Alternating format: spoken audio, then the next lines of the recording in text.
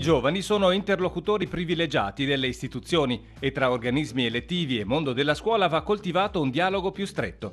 Con questo messaggio il presidente del Consiglio regionale del Veneto, Marino Finozzi, ha inaugurato a Padova Expo Scuola 2008, il salone della scuola e dell'orientamento scolastico e professionale.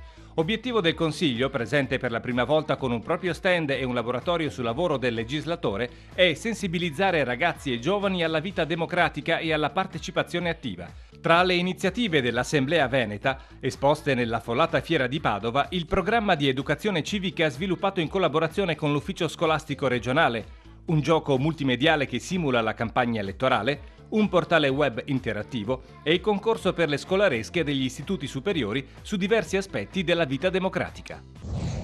La partecipazione civica è il primo obiettivo del Consiglio regionale. Da tempo stiamo utilizzando qualsiasi strumento per far partecipare i cittadini alla vita del Consiglio regionale e della pubblica amministrazione, invitando scuole, invitando i cittadini a visitare il palazzo che riteniamo sia casa loro, casa dei Veneti e utilizzando tutti gli strumenti innovativi che oggi la tecnologia mette a disposizione.